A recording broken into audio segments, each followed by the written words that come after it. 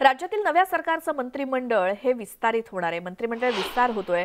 मंत्रिपद मिळवण्यासाठी अनेक आमदार आपापल्या परीनं प्रयत्न करतायत आणि याच हालचालीचा फायदा घेत चार जणांनी मंत्रिमंडळामध्ये मंत्रिपद मिळवून देण्याच्या नावाखाली चक्क तीन आमदारांची फसवणूक करण्याचा प्रयत्न केलाय. मुंबई गुन्हे शाखेच्या अँटी एक्स्टॉर्शन सेलनं सापळा रचून केलेल्या कारवाईनंतर हा धक्कादायक प्रकार समोर आलाय. राष्ट्रीय पक्षातील आमदाराला कॅबिनेट मंत्रिपद मिळवून देण्याच्या नावाखाली चक्क शंभर कोटी रुपयांची मागणी करण्यात आली. केवळ इतकंच नाही तर आरोपींनी आधी आमदारांना फोन करून आपण दिल्लीहून आल्याचं सांगितलं आणि त्यांचा बायोडेटा देखील विचारला. मुंबई पोलिसांना याची माहिती मिळताच गुन्हे शाखेच्या अँटी एक्स्टॉर्शन सेलनं सापळा रचून एका आरोपीला पकडलं.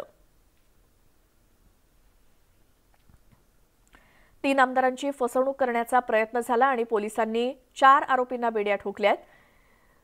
दिल्लीहून आल्याचं आमदारांना भासवलं त्यांचा बायोडेटा गोळा केला त्यांची माहिती गोळा केली आरोपींनी मंत्र्यांना बायोडेटा विचारला मंत्रीपद मिळवून देतो अशा प्रकारचं आश्वासन खोटं दिलं आणि फसवणूक करण्याचा प्रयत्न आमदारांची. आमचे प्रतिनिधी विनोद राठोड आपल्यासोबत आहेत फोनलाईनवरती विनोद मंत्रीपद मिळवून देतो म्हणून चक्क आमदारांची फसवणूक काय प्रकार आहे हा? नक्की महाराष्ट्रामध्ये शिंदे सरकार आल्यानंतर आता शिंदे सरकारचं मंत्रिमंडळ विस्तार होणार आहे आणि त्याच पार्श्वभूमीवर महाराष्ट्रामध्ये खास करून देवेंद्र फडणवीस आणि एकनाथ शिंदे यांच्या बंगल्याच्या आसपास मोठ्या प्रमाणात काही जे दलाल आहेत ते मंत्र्या आमदारांना मंत्री करू असंही या ठिकाणी बोललं जात होतं आणि या प्रकरणामध्ये दोन ठिकाणी बैठक घेण्यात आली होती.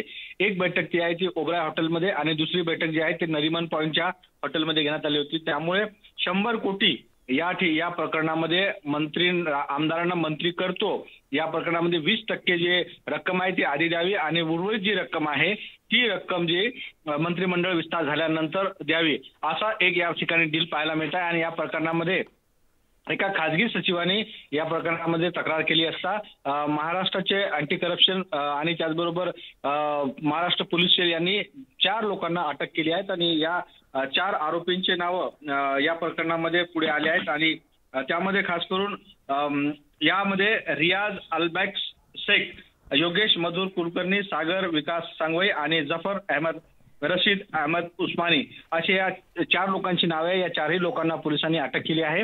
म्हणून या प्रकरणामध्ये ज्या आमदारांनी स्वतःला मंत्री मंत्रीपद मिळवायचं आहे अशा आमदारांचा शोध मात्र पोलीस घेत आहे. आणि या प्रकरणामध्ये स्वतः महाराष्ट्राचे मुख्यमंत्री एकनाथ शिंदेही लक्ष घालत असल्याची माहिती पुढे येत आहे. आणि जे जे या प्रकरणामध्ये दोषी असतील त्यांना लवकरात लवकर शिक्षा देण्याचं या प्रकरणामध्ये बोललं जात आहे. परंतु ही मोठी गंभीर बाब या ठिकाणी पाहायला मिळत आहे. विनोद धन्यवाद या सगळ्या माहितीसाठी.